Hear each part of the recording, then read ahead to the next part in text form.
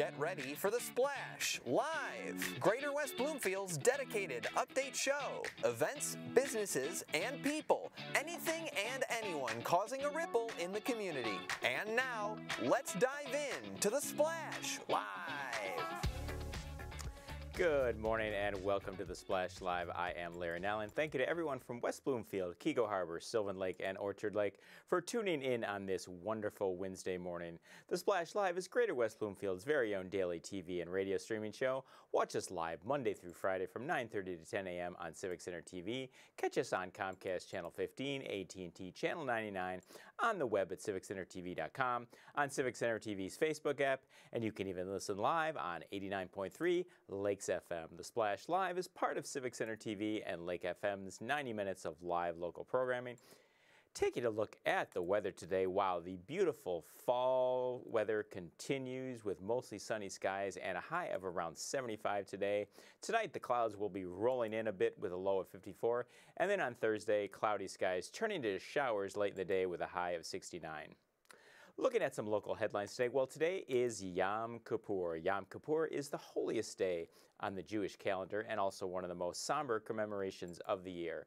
It marks the end of the Days of Awe, a 10-day period that begins on Rosh Hashanah, the other main high holy day which celebrates the Jewish New Year. Yom Kippur in English means Day of Atonement and focuses on repentance and asking forgiveness for wrongs that may have been committed over the past year. Jewish adults observing the holiday typically will fast for around 25 hours starting at sundown the night before. To our Jewish friends and viewers, we here at the Splash Live wish you a meaningful fast.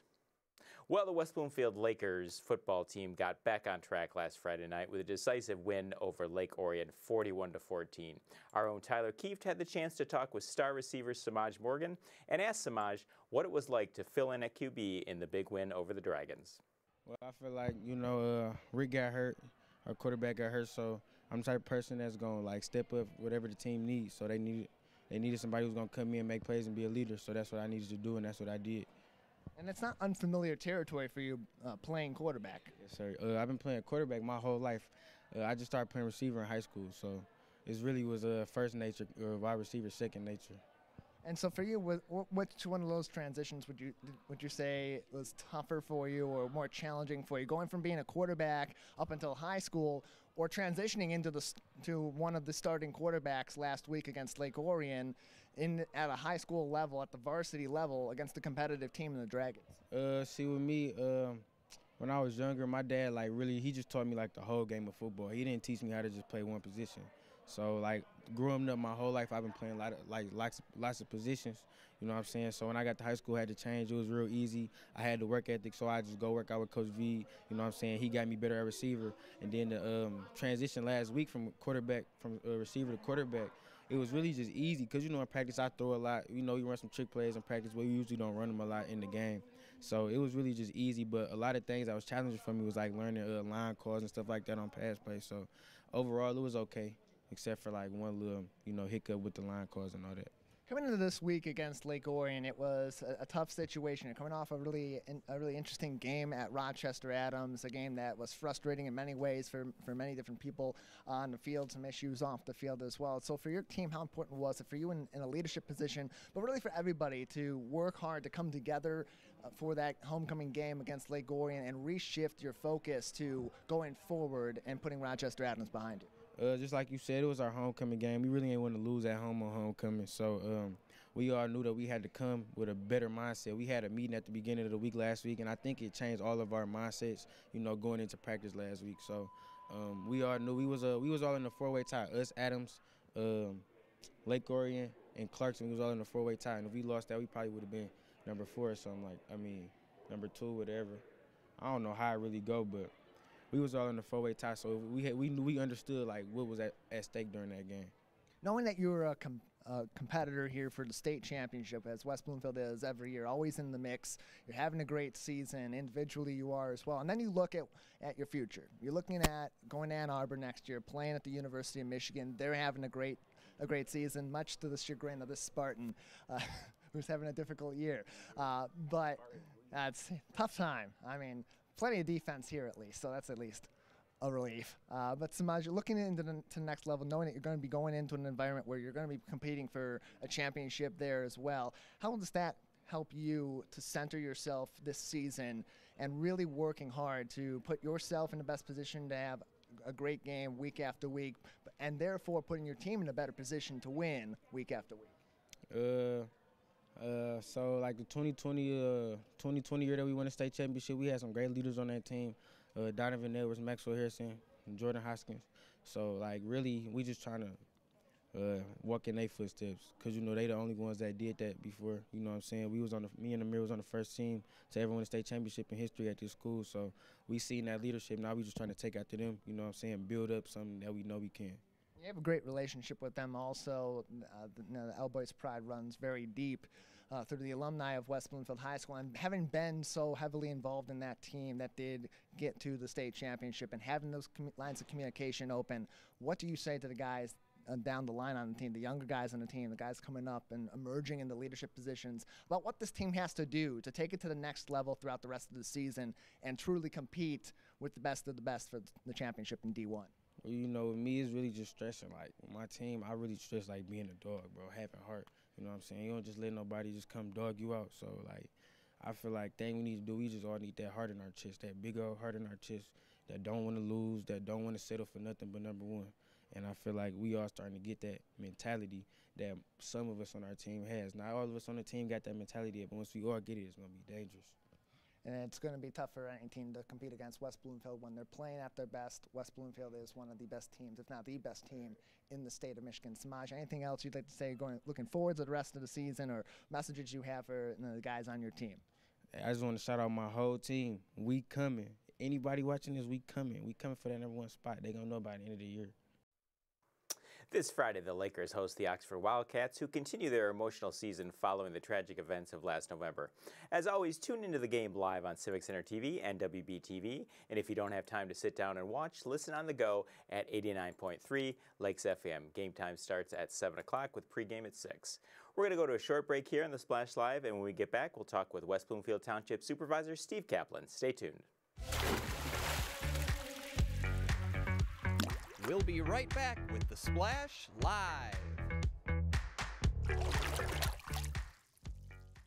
Now that the vaccine is available for children five and up, why do you recommend it?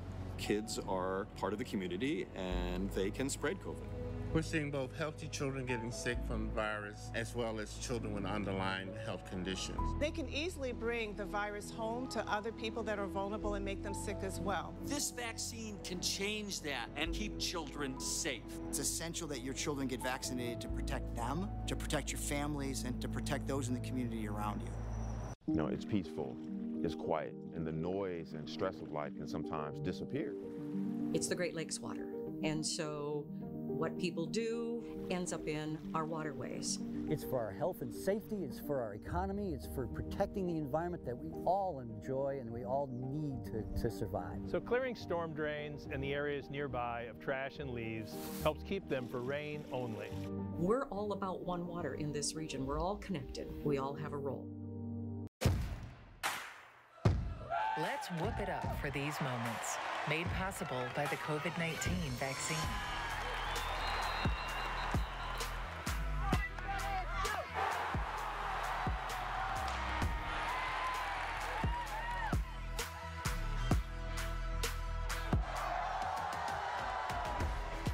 Cheering going by keeping yourself protected and your COVID 19 vaccines up to date.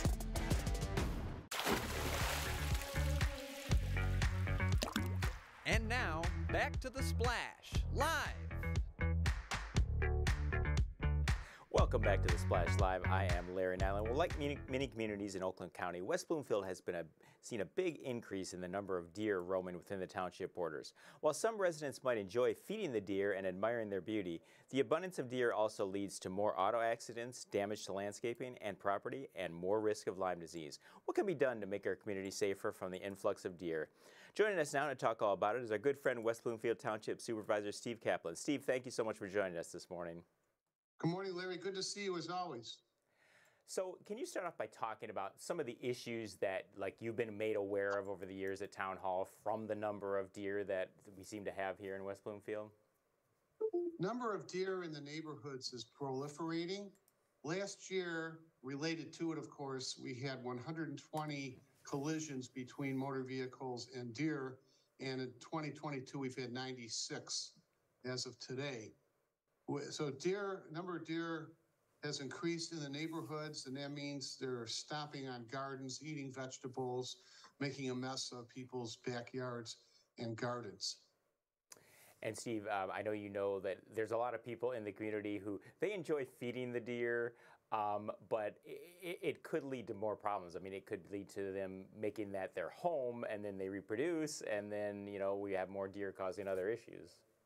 Larry, excellent point on your part. Deer, remember, let's say Larry lives in West Bloomfield, He leaves strips of food for the deer, and they enjoy the morsels that you left behind. And the next day, they'll revisit you because they'll remember the food source. Yeah, I have a neighbor who will feed the deer, but it, it, it brings other animals. So once the deer are done for the night, then you see you'll see like a, a, a beaver come by, you'll see raccoons come by, and, and it leads to other problems. It just does. Larry, we have considered enacting an ordinance which would prohibit, not prohibit, which would discourage mm-hmm. people from feeding the deer. Several problems with it. Number one, do we really want to criminalize our residents when in good faith they're feeding the deer? Secondly, it's essentially unenforceable. How are we going to catch the violators? Are we going to have undercover officers hiding near the food source in order to, to apprehend the, the resident? Oh, it's, I, I know a few communities, including Rochester Hills, do have such an ordinance, but I don't think the township board is interested in criminalizing that behavior. So, um, can you talk about um, what exactly is the Oakland County Community Deer Coalition, what I think, which I think was formed back in 2021? Right, and to give credit to Oakland County, Farmington Hills, and yeah, Oakland County and Farmington Hills for spearheading this coalition. We joined the coalition immediately. We enacted an, or, a proclamation indicating that we do want to participate, and and we have been. We've already had eight meetings they say not much is accomplished at a meeting, that a, a, a camel is a horse created by a committee. But we have had good discussions on this, and ultimately there are five possibilities apart from doing nothing in terms of reducing the deer population. One of them is to kill the deer, and that's obvious. Second one is to have police officers visiting the backyards of people and shooting the deer. That really isn't practical. Ann Arbor has a procedure. It's called culling the deer, C-U-L-L, culling the deer, and that's where they they they they lasso, they capture deer, and they transport them to a, like a park, which is isolated, and then they shoot the deer. I don't know if our residents want that to occur. Another possibility that's being viewed is sterilization or contraceptives, where food is laced with contraceptives, and that would help reduce the deer population. And so, um, one of the ways where they're trying to figure out what might be the best solution to this is the regional deer survey that they formulated. Could you talk a little bit about that? Sure. And that survey is available on West Bloomfield's website. And through November 11, any resident can complete the survey. And it would be helpful to us to determine does the average resident or do a majority of residents want deer population to be reduced? Because there are people, Larry, who love seeing the deer. My wife, for one, she'll call me to the dining room window, say, "Look outside, look outside. There are four deer in our mm-hmm. backyard." So she she really enjoys the the nature, and therefore this is not a unanimous issue. I, I'd say it's probably split. I'd say many residents don't have an opinion because they have more important matters to deal with. Although this, this is very important. And then some love the deer and don't want to reduce the deer population, and others think that we're overpopulated. Yeah, I remember uh, a couple years ago when they built a new roundabout at Middlebelt and Maple. There was a huge percentage of the population that came to the meetings discussing uh, when that was going to be built that it was going to affect the deer population in the area because so many deer crossed over over that location. Right. Another good point by you in terms of why are deer increasing. Well, one is that the township is now 95% built. It's developed. And that means when a development goes into an area which at one time was unde- undeveloped, obviously, then the deer are chased out, so to speak, and they then proliferate in the neighborhoods. Um, so I had the chance to uh, print out the uh, survey yesterday. It's really not that long. It only has about seven questions on it. I mean, it's just it basically asks if if how the deer have affected your life. Do you think it's gotten worse over the years? And if there if it has affected your home, do you think there's a monetary figure that you can put on it? So it's things that if people are interested in in getting control of the situation, it, it's a real easy survey to fill out. Yes, and one gentleman sent a letter to the supervisor's office, and three-page letter, very well written. Obviously, he has a scientific background, but he posts some suggestions, ideas for us. So you never know. It could be just one resident has an idea that the regional coalition would find palatable, and you never. And it could be that ideas from residents could lead to reducing the population of deer. Um, I think you mentioned that like some communities, um, I know they do, did this in Rochester a couple years ago, where they kind of had like a an evening where they were at a field where some of these deer gathered, and there was like kind of a mass shooting of these deer, and it kind of set some neighbors, uh, you know, into a bit of a frenzy, wondering what was going on. Is that something that you think is a possibility down the road in West Bloomfield, or you're trying to avoid something like that? Extremely unlikely. For one, our ordinances ban outdoor hunting, even bow and arrow. So a person would be violating the ordinance if he did that. And there is a danger to it. I, I'm sure there are some people who are marksmen, but not everybody has that skill. And an errant shot could enter a home and kill or injure somebody visiting or living in that home. So there's a great risk in, in terms of self self action. So if people do want to uh, fill out this survey, and I'm sure we encourage everyone to do it, whether they're for favor of the deer or they want to limit the number of deer in town, how can they find that survey? Yes. So go to the West Bloomfield website. Just uh, Google search engine if you want West Bloomfield Township. Yeah, West Bloomfield Township, Michigan website, and then they'll find the link. It should be easy to find. It's also available through Oakland County's website. Yeah, and uh, it says on here November 11th is the deadline to fill that out. So you do still have about a month and a half to get that done. Yes, November 11th. Interesting date in history when World War One ended. Oh, did it really? 11th. Yeah, 1919. 1918, November 11th. So I want to bring up one other thing with you, Steve. Um, every year, every fall, we have the hazardous waste disposal event. It's coming up in a few weeks on Saturday, October 22nd. Could you just tell us a little bit about that? Sure. The township features four events for our residents, and this includes Keego Harbor, Orchard Lake, and Sylvan Lake. We host two household hazardous waste days per year, one in May and one in October. We've already had the one in May, obviously, but October 21, Friday, between 4 and 6 for senior citizens, 62 and older. So, Larry, you're about 40 years away mm-hmm. from that status. Or Saturday, October 22nd, 9 to noon for anyone. And we've had great success. One year we had 1,900 vehicles between the two events. Shredding is not offered during the HHW event, Larry. We, we have two separate shredding events. We just had one last weekend. We found that by separating shredding from disposal of hazardous waste moves the line along. The wait is not as long. At one time, we had cars that, that waited two hours, or motors that waited two hours from entering the Civic Center compact, uh, complex.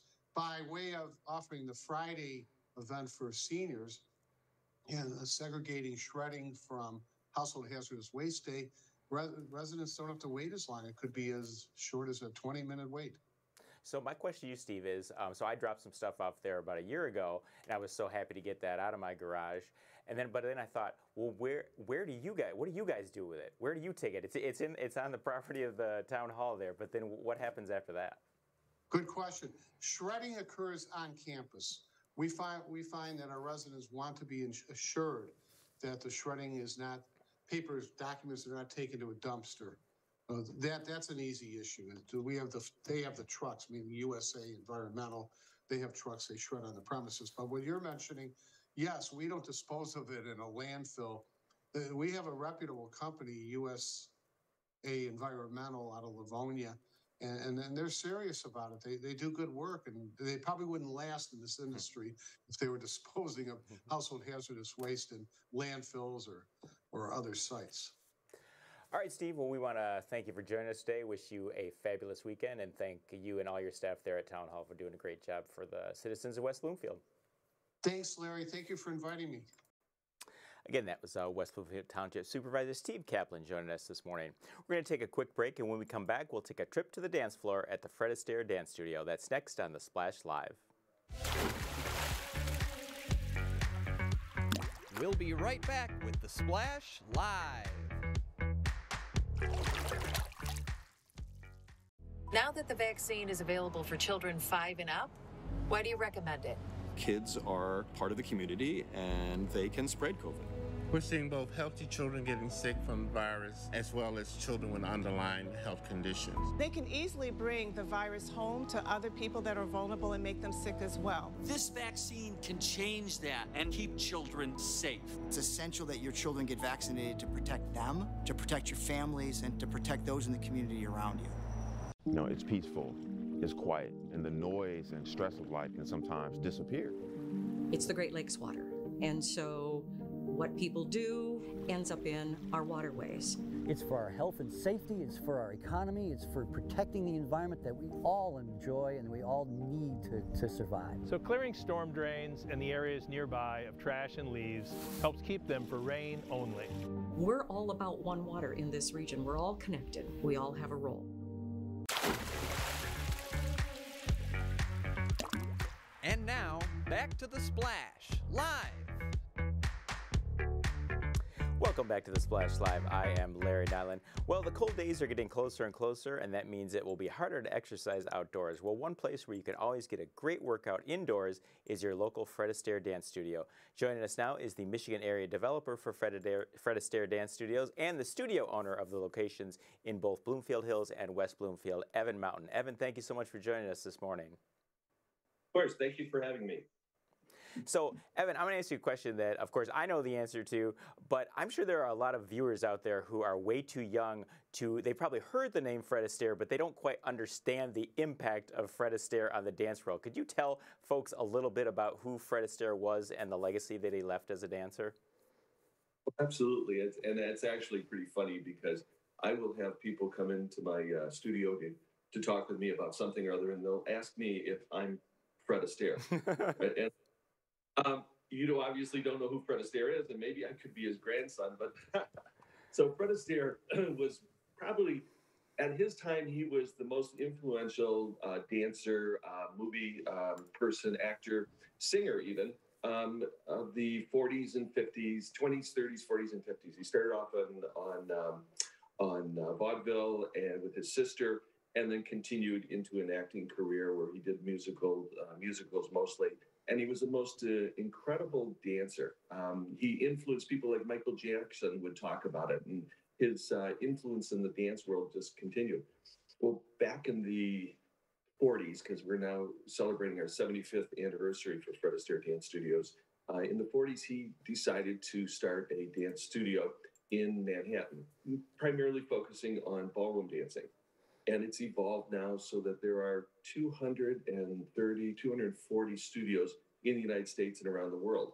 Um, they're all franchise studios and we follow the legacy of this great um, great man who uh, you know who's emphasized dancing uh, and we continue to emphasize dancing in our studios and quality dancing. Oh, there's some pictures of my uh, some of my instructors and uh, Evan, can you tell us a little bit about your dance background? Did you start dancing at a very young age? well, actually, this is I grew up in Southfield and um, I played football and other sports, and I would dance. Uh, I would take ballet classes and other uh, dance classes uh, in order to help my sports, uh, my eye hand coordination and such. So um, but I didn't get into ballroom dancing until much later. I always enjoyed dancing, but uh, didn't really know what to do. So I started doing ballroom dancing, partner dancing. It's a it's a different skill set. And um, as I tell people, it's just learning the fundamentals of dancing. How do you dance with a person, and and to what music and to what song? You know, if it's a if it's a rumba or if it's a swing dance or it's a hustle or a cha cha, or tango, you know, you you'll be able to identify the music and then start dancing to it. So and know what to do, how to lead, and how to follow. So I started off by talking about the workout benefits of dancing. Can you talk a little bit about? I mean, it really is a great cardiovascular and calorie burning workout to dance, isn't it? It is, and that's probably the most obvious benefit. There's there's actually several other benefits, uh, but the physical benefit is probably the best. Most people are the easiest to identify. Um, you know, when you're dancing, depending on the dance style, if you're doing salsa or, or swing, something more active, you could be burning up to you know 450 to 600 calories in an hour, and you're doing it in a fun way. I mean, like most exercise, it's got to be fun to continue it. You know, jumping on a treadmill or uh, or a Peloton bike. After a while, that's not so much fun, you know. But you're moving around the floor with music and enjoying yourself and burning calories. You're also working on your. It's a low impact, as you said, but you're working on your core strength. You're working on your flexibility and your balance, and that's important anytime in life. But as you mature, that becomes more important for you. So, who is the typical student at the Fred Astaire Dance Studios? Uh, is it a lot of uh, older people, maybe a lot of younger people, uh, men, women, 50 50 mix? Uh, what's the makeup like usually? Good question. So, the general, uh, previous, you know, in, in past years, it used to be just older people, you know, that would be doing this. Maybe somebody in their 60s and such, you know, the widow or, you know, or something. But it has changed so much. I mean, we have we have kids that are in high school wanting to learn how to dance, ballroom dance, to help them with their musical theater uh, background and, and, such. We've got uh, young couples, obviously, getting ready for their wedding, wanting to learn how to do their first dance. We've got lots of probably 50% of our students come in as single, you know, single students uh, without a couple. Maybe maybe their significant other doesn't want to learn how to dance, but they want to. That exercise, those benefits. And then we have, you know, and couples will come in to learn how to dance together if, you know, they're going to a wedding maybe or or some kind of social event.